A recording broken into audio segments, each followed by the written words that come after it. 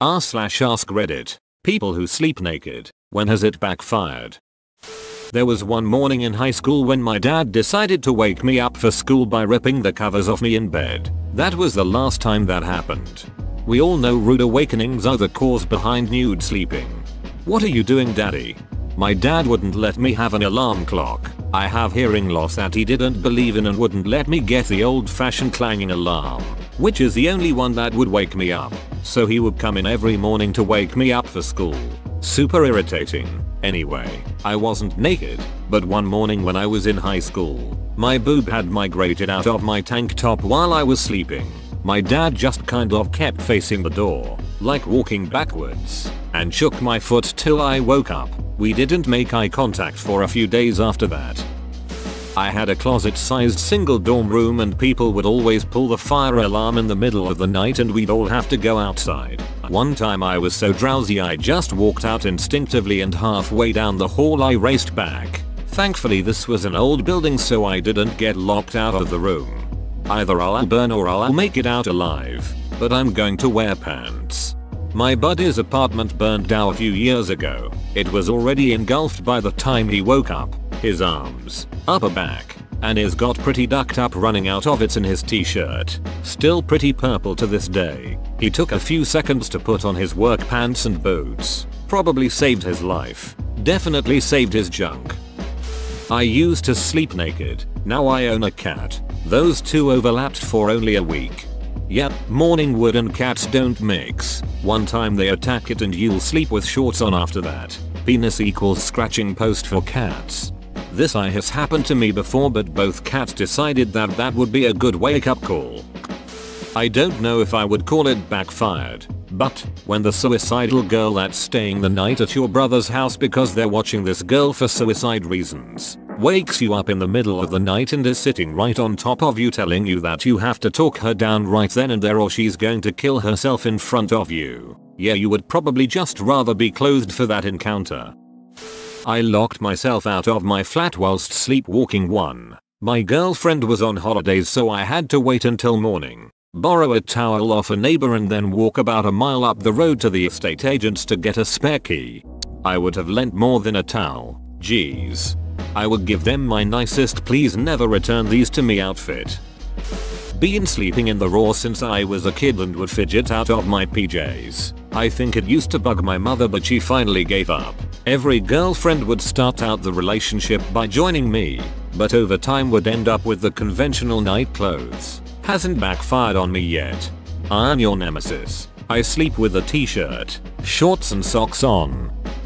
I normally don't do this, but one summer night I had a meal from my local Mexican place that I love. Since I was busy that day, I didn't have lunch and decided to get significantly more than what I normally order to cure the hangry. I also did not get an opportunity to poop that day. Since it was unusually hot that night I decided to ditch everything and sleep bare. After one very realistic dream of me on the toilet. Let's just say that I had to get a new set of bed sheets the next morning. Shit happens. I was at a hotel and the fire alarm went off. I had to very quickly find clothes get dressed. It was a legit small fire too.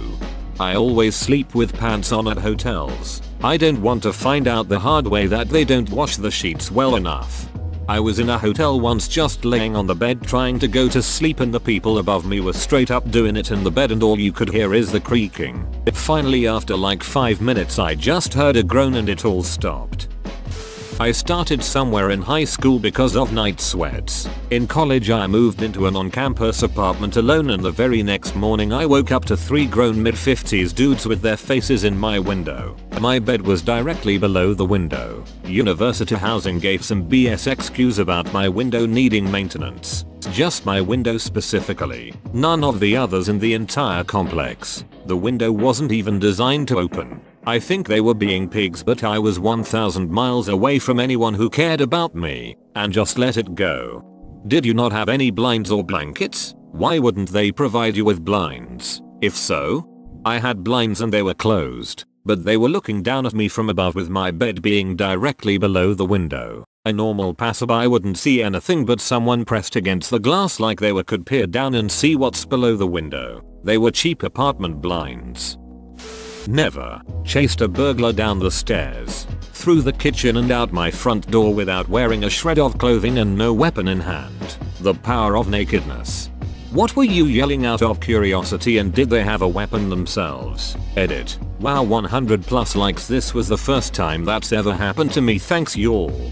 Woke up and saw a person prowling around in my hallway. Launched myself out of bed and into a dead sprint. Screaming get the duck out or die. I was blinded by fear and rage. I don't recall seeing a weapon. But had they had one, I was defenseless and would have been in a really bad spot had they chosen to use it. The burglar didn't say anything. I'm assuming they just panicked and their first instinct was to run. Guess they didn't want to fight a naked guy? When in uni my room was right in front of the university, so when looking out my windows you would look straight into classrooms. So one day the inevitable happened. I had forgotten to close the curtains at night. You couldn't see me while I was in bed due to the head of the bed obstructing the window. However getting out of the bed would expose my entire naked body to the world. So any bored student whose sight was wandering off outside the classroom window could get a nice viewing of my naked body. The way I fixed it was by simply rolling up in my bed sheets and sort of hop to my curtains in my bedsheet roll. I am male BTW, so I didn't have to cover up breasts. A few years ago, I was working a night shift and had just returned home at 7am. I was so tired that I didn't close the front door properly. After I activated the house alarm, I went to my room and undressed myself and went to bed. I wake up to the alarm blaring and I look around my room as I hear yelling. I see there are two female cops in the house with their guns out and one of them was pointing it at me. I'm half asleep and not really understanding what was going on. The officer asked if I lived here, to which I said yes. Then she ordered me to show her my ID. My ID, which was in my wallet, was on my dresser. I pointed her to where my wallet was. She ordered me to show it to her, and I said I couldn't get up because I was naked under my blanket. So, while still pointing her gun at me, she opened up my wallet. After that, the cops left and, after securing the front door properly, I went back to sleep. My favorite part is that two trained professionals found it conceivable, and even probable, that someone broke in to take a morning nap like ducking Goldilocks. I've been sleeping naked for over 40 years and so far, it hasn't caused me any problems anywhere. Basic training. Getting called out of bed because someone fell asleep on guard duty. My private was standing at attention. At ease. I was at a house fire once during the night and the homeowner slept naked. When we arrived he was running around his front yard naked with a garden hose. Thankfully he was not injured and we were able to salvage most of his belongings. And the one thing he said is that he learned to now sleep with shorts on. My dad always sleeps in the nude. One day the neighbor's house across the street caught fire after the gas powered water heater exploded. He could hear the homeowner screaming for help all the way from inside our house. So, still naked, he ran into the burning house and carried her out. Firefighters said if he had been wearing clothes the heat from inside the burning building would have ignited them and he would possibly have burned to death. I've always slept naked but the heater in my room was broken and it was getting too cold even with layers of blanket. I woke up that morning and knew I had the house to myself at least till late afternoon so I continued snoozing in my sister's room with the heater on. Next thing I knew, I heard voices coming up the stairs. It was my sister and her friends. I guess they decided to ditch school and thought I wasn't home. I had no other choice but to roll over and hide under the bed. They were hanging out in that room for a good 2 hours and I was under the bed completely naked the whole time. That was almost 15 years ago and she still has no idea. Casually sits under bed for 2 hours completely naked. I got super drunk in a hotel room and passed out naked. Woke up confused about my surroundings for some reason and left the room. Walked down a hall naked for some reason. My wife guided me back to bed. I guess it didn't backfire since nobody saw me that I know of, but that hotel has actually since burned down in a suspicious fire. Taking I can never go back there to the extreme I see. When my little cousin, who is a male, pulled my blankets off to wake me up, he was not expecting his oldest female cousin to be completely nude. That was a very awkward moment. It was at that moment Timmy didn't like Legos anymore. Fortunately nothing yet for me personally, although tbh I don't sleep naked too often. especially this time of year. A university flatmate had a boyfriend with a supposedly fairly bent dong. She claimed it was the result of a nighttime falling out of bed, landing penis first with an erection. Crunch. Once when RAs in college knocked at my door in the middle of the night and it took me a second to get up and get dressed, they were sus of me. Other than that, been nothing but great. Even got my partner hooked on sleeping the same way. Sus of what though? 99% of the time they're suspicious of the residents hiding drugs or alcohol. My freshman year and Ra knocked on the door because they had caught a couple of residents with drugs in the stairwell and were doing check-ins with all the residents. I cleaned up my old candy and junk food wrappers before opening cause I had an embarrassing amount out on my desk. I ended up getting a verbal warning cause the Ra thought the rustling was me hiding stuff. When I was younger, a teenager, a sibling came in and ripped off my blankets. Edit. Please. Someone correct me if I am wrong. But I believe my punctuation is correct. I am was the teenager apparently in question. For example I, a teenager, ate a salad for dinner. Or, when I was old, an elder, I was elected chairman of the board. The teenager and your sibling sound very rude.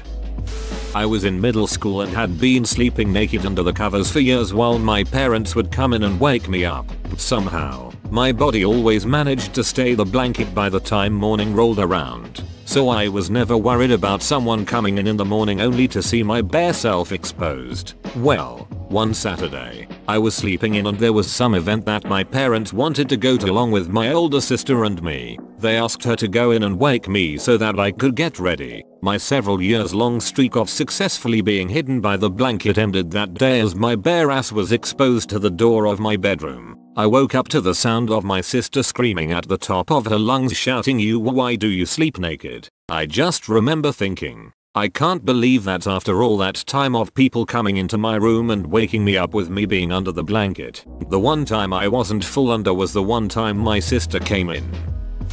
Getting my period in my BFS bed. I'm on a BCP that makes it impossible to know when it's coming on. Maybe every 4 weeks. Maybe heaving spotting a week later. I just don't know. Fortunately he is super chill every time it happens. I think being with him induces my periods. He goes out of town for a week or two. Nothing. He comes back. Sploosh. Your body is basically going, oh shit our dong is back. Time to turn everything back on again. Not really backfiring per se, but this made, and makes, my wife laugh whenever she thinks about it. A few weeks ago, we heard a crash at about 2.30am. I groggily grabbed my 9mm. Shotgun is locked up downstairs while I research new safes and went to investigate. I cleared the entire house buck naked. I went back to bed, locked my 9mm back in its case next to my bed, and laid down. About 2 minutes passed before we both started laughing hysterically about me walking through the house naked with a gun. I was in the mental hospital, and my roommates and I were pretty close so I was fine sleeping in my underwear. Sleeping there sucks. So I'd do anything to get a little more comfortable. Anyways, you get 15 minute checks there, even through the night. I guess I wasn't ready when they shined the flashlight in and I covered up quickly. I got in trouble and was put on boundary precautions. There was a red dot by my name on the whiteboard, so everyone knew. From then on I had to sit one couch square away from everyone, carefully monitored for the rest of my stay so I didn't get too close to my mental peers. Never. Been married twice. Pajama wife, my ex, and naked wife. The marriage with naked wife is, shall we say, much healthier. I wouldn't say it backfired, but there have been two times things went kinda sideways. Once when my daughter's heart respiratory monitor's alarm went off in the middle of the night, I jumped out of bed and performed CPR. Turns out I just forgot to plug the machine in and its low battery alarm was the same as your kid is dying alarm. After I got the alarm handled and was checking baby, my father from the bedroom doorway asked if everything was okay. I said yes it was all good and he shut the door and left. I thought it was weird that he was standing outside the doorway looking at the ceiling. It wasn't until later when I was finally going back to sleep that I realized I was mostly nude except for a postnatal diaper thing I was unclothed. Laughed so hard I woke the baby again. Months later, another event happened. By this time, Baby no longer has a monitor and hasn't stopped breathing for months. She's healthy enough to co-sleep and I was rocking that bedtime nursing. Well, in the middle of the night I wake up BC there is something biting my nipple. Turns out baby woke up and decided to help herself to a midnight snack. Except she didn't get a good latch. Got frustrated and freaking bit me. I tell her that story every chance I get. Why can't I have an ABC? Well, when you were about 4 months old. Why can't I go to Ziz? Well, one time when you were very little. I was going to say never, because I always keep shorts next to the bed. However, we got a new pup a couple years back who likes to sleep under the blankets. I gotta say catching a errant paw from to the ass or genital region sucks a little bit more than it typically hitting my leg or back. Not really backfired but room inspection in the barracks, they always gave me time to get pants on after that. I think of my poor husband on vacation in Europe. The one time I convinced that man to sleep naked so he can be more comfortable lol. We wake up to what we thought was the middle of the night to blaring fire alarms in a hotel in London. He rarely sleeps naked, so he bolted out of bed assuming he was in boxers, grabbed his slippers and ran out the door. Meanwhile I was getting dressed right behind him trying to get his attention to get dressed. He kept thinking I was worried and was yelling over me. I managed to get clothes on while he remained naked. We ran down 4 flights of stairs. Made it to the front desk to ask what the commotion was about only to find out it was 4pm and this was a routine test of the fire alarms throughout the hotel. The hotel clerk then looked at my husband and said despite being in Europe, we have a strict no nudity in the hotel lobby policy. I died laughing. My husband finally realized he wasn't dressed looked at me and my pajamas and started to grab Kleenexes to cover up. The whole way up to the hotel room in the elevator he was upset I didn't tell him. I couldn't stop laughing so I began to cry. We looked like a hot mess getting out of that elevator. Best vacation story ever.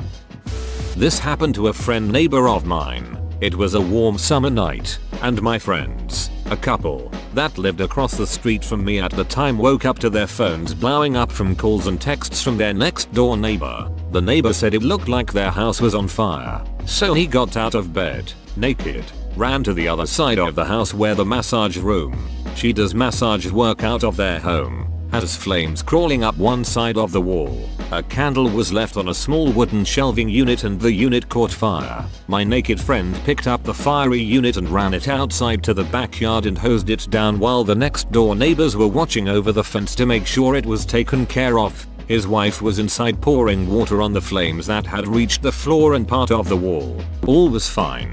They put it out but the neighbors got a good show. If someone sees me naked when I don't plan for them to, then that's their own fault. If I am in my room it's fair game. And I don't have shame or care really. Other people have penises and vaginas, usually one or the other, but I am not judging.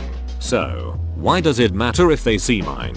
Just don't stare and we won't have much to talk about lol. Whoa, you made it to the end? You're a ducking beast. I'll cut you a deal. Smash like and subscribe for more curated content bruh. It's free and that's a great price.